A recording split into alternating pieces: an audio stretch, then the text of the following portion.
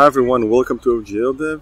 Today I want to do a quick uh, Q&A session. There was a question about FreeGLUT in one of, in one of my uh, videos. So let's see the question and the example code for it. So the question by AT0977 was, can you open two independent windows with GLUT? So thank you for the question, AT0977, that's a cool username, and the answer is yes. Now let's see how we can do that. First of all, we initialize uh, GLUT as usual by calling GLUT init and GLUT init display mode. Uh, here I'm using GLUT uh, uh double for double buffering and GLUT RGBA for uh, RGBA color mode. And uh, you can um, watch my video about that. I'll put the link in the description below. Now we create two windows. So the first one is initialized with uh, a size of a width of 1920 uh, and the height is 1080 so that's the first window and then we uh, initialize its position at uh, 0 0 x and y 0 0 and we create the window right here. So we get the handle in win1 we're even printing out the uh, the identifier.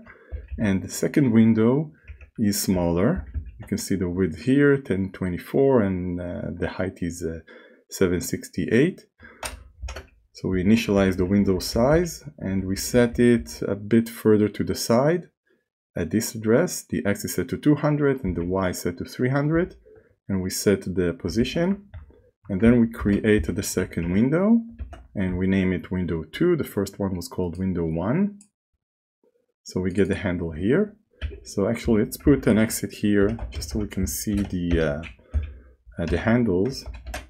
Now the code is located in samples, FreeGLUT multiple windows, and we have a build file here, like all my uh, tutorials. There's a very simple build file that uh, simply builds the um, the CPP file with the required um, flags for, uh, in this case, the libraries. The executable will be called free, free glut multiple windows. So let's build it. And uh, we can run it. It was already there because I built it before. So here we can see that the windows were created and we got the identifiers 1 and 2. Okay, so that is expected from uh, the behavior of FreeGLUT. Now, the interesting thing is right here. GLUT set window is the API that sets the current window. So theoretically, we could have continued and uh, configured the, the display function for each window right after it was created.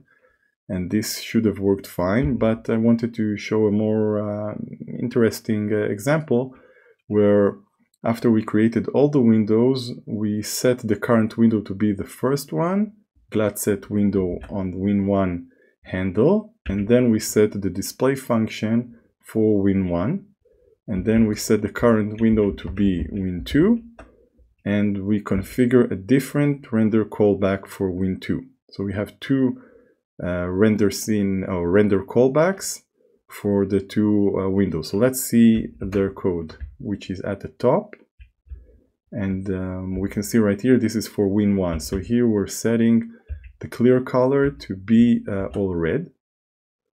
And then we're clearing the window. And uh, in win for win2 uh, we set it to be green. Okay so we'll be able to differentiate them. So remember that the green one should be the smaller one because win2 is smaller. And the rest is the same. We set the clear color we clear the window and we call glut swap buffers. Okay so now uh, let's run this again build this again and run it. And there you can see that we're getting uh, a big window called window 1 and uh, whoops and the second window is smaller. So we've been able to render uh, two different windows and we could now have implemented you know different graphics in each one and they are both uh, they both belong to the same application or a game so you can imagine we can do a lot of interesting stuff with it. So that's it. I hope you enjoyed this video and i'll catch you in the next one. Bye bye